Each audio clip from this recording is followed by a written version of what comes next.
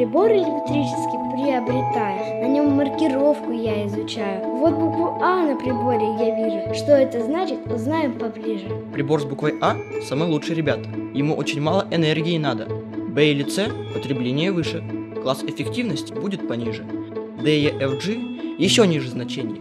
Эти приборы – одно разорение. Покупая прибор, не забудь На этикетку и буквы взглянуть.